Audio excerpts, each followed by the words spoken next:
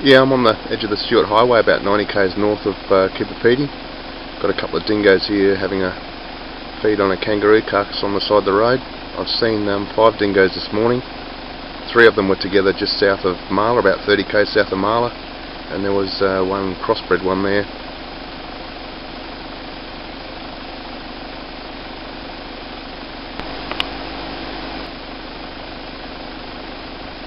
There's quite a few crows hanging around waiting for their turn to have a bit of a feed as well.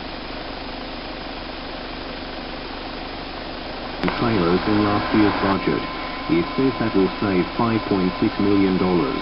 Police will be able to use portable equipment to verify whether a car is registered, but the association's executive director John Chapman is concerned that the move removes the physical offer to our members and there will be a reasonable demand for it. Police say they disrupted an Adelaide-based drug trafficking syndicate after a month-long joint investigation with Customs.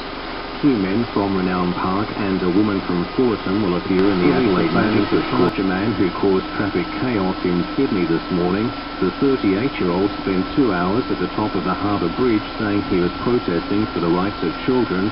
He abseiled down and was arrested at about 7 o'clock.